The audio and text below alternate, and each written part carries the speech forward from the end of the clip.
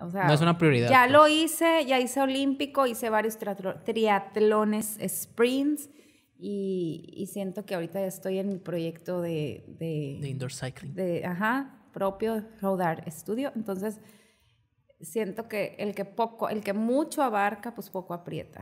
Entonces, Así es. ocasionalmente corro, hago pesas, indoor cycling y un poquito ahí de funcional al final de las pesas.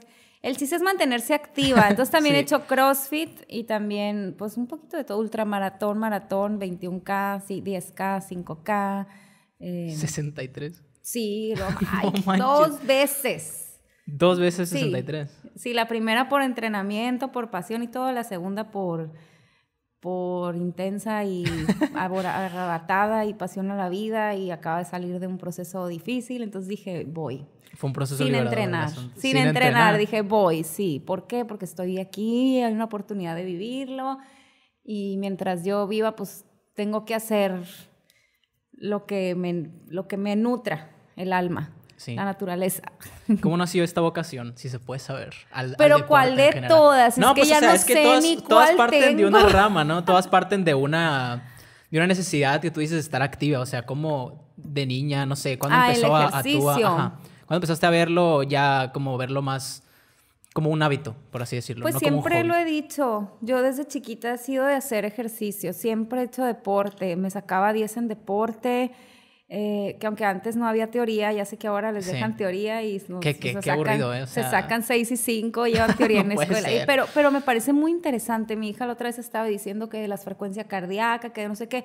Si eso a nosotros nos hubieran enseñado de niños, se hubiera enfocado a lo mejor alguien más en estudiar la carrera de licenciatura en educación física, pero no porque no la conocían, no saben de qué se trata. El deporte es algo más que nomás hacer el movimiento y ya todo tiene un porqué y para qué. Claro. Y el- los, planes de entrenamiento y todo el cuerpo es Sí. magia, ¿no? Y nada es tadioquis. Sí, de hecho, a- a- ahorita, ahorita. Este, en tiempo que vino Martín, te mando un saludo, Martín. Martín Sañudo. Samudio. No, Sañudo. Sañudo, Eso, ah, es otro un nutriólogo. Martín. Sí, Ah, otro ok. Martín. Mucho gusto, Tijuana. Martín. y y, eh, también me, me llamó mucha atención traerlo porque una vez explicó él en un video una cosa que tenía que ver con la... em, como que tu cuerpo tenía que adaptarse a cierto ritmo cardíaco para poder este, adquirir o, o- o- Es que está bien, bien curioso cómo se llama, pero haz, haz de cuenta que a las personas que tienen un cierto eh, porcentaje de grasa tienen que mantenerse en un rango Para quemar más grasa, sí, Sí, no puedes y para ir a- Y la gente que- cree que- que, que tu sudando y sudando, que estando en 180, 190 en tu tope vas a quemar más grasa y no es cierto, sí. Claro. O sea, por, por lo que te digo que hoy que entrené más fuerza, me enfoqué más en, en- en cierta parte del cuerpo y mantuve mi frecuencia cardíaca, ¿no? Entonces ahí es donde está la quema de grasa y pues es, yo no soy experta, cabe mencionar, pero como Sí. te digo, tengo años haciendo ejercicio, deportes, pesas, Claro, y algo ta, se ta, te ta, queda, ¿no? Entonces, algo se me queda de los entrenadores que me he rodeado, para eso están los expertos. Pero lo que te digo que mi vocación nació porque desde chiquita hacía ejercicio, siempre estaba en básquet. En prepa me acuerdo que era de que quién quiere correr en la fiesta atlética del cerro y yo levantaba la mano. Eh, éramos el grupo de en, educación física, en el grupito éramos de que quién va a ir a- los voy a poner a subir en las escaleras del Cerro de la Memoria y todas, no, y yo sí, vamos, o sea, yo era como que, y siempre mi papá nos inculcó el deporte, o sea, era de que los domingos levántense, vámonos a correr, o sea, y yo, ay, sí, a veces sí me da flojera, pero... O sea, era porque era mi papá, pues y como que Sí. lo que te dije tu papá es como que, ay, no, y a la mera hora Ajá. resulta que se invirtieron los papeles, las hijas salimos todas, porque mis hermanas también son deportistas, son corredoras, este, y pues la familia todas hemos sido así. O sea, en vez de decir, "Eh, va- levántense temprano, vamos a ir a misa, era levántense temprano, vamos a ir a hacer la ejercicio. misa era en la tarde. Ok. ya con mi mamá. sí, o sea, y luego me casé y tuve mi primer bebé y pues la vanidad te gana, subes 20 kilos, 25 kilos, vieras mis fotos, no, qué vergüenza. No, pero cuál qué vergüenza, qué orgullo, ¿no? Que, que engordaste tanto para dar vida y Sí. que lo puedes volver a recuperar, que puedes volver a tu peso anterior.